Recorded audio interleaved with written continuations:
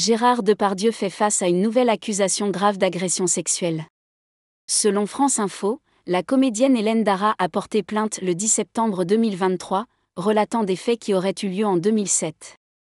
Dans le cadre de l'émission Complément d'enquête diffusée sur France 2 le 7 décembre, Dara a témoigné de son expérience sur le tournage du film Disco. Initialement figurante, elle a obtenu un petit rôle de dernière minute.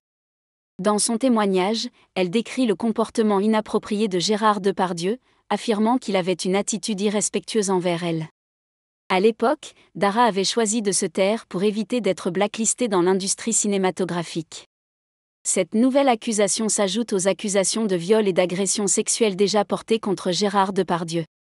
L'acteur avait contesté fermement ces allégations dans une lettre ouverte publiée dans le Figaro, affirmant n'avoir jamais abusé d'une femme. Les conséquences de ces accusations sont dévastatrices pour Hélène Dara, comme en témoignent ses mots poignants dans son journal intime. Le parquet de Paris est actuellement en train d'examiner la plainte d'Hélène Dara pour déterminer les mesures à prendre.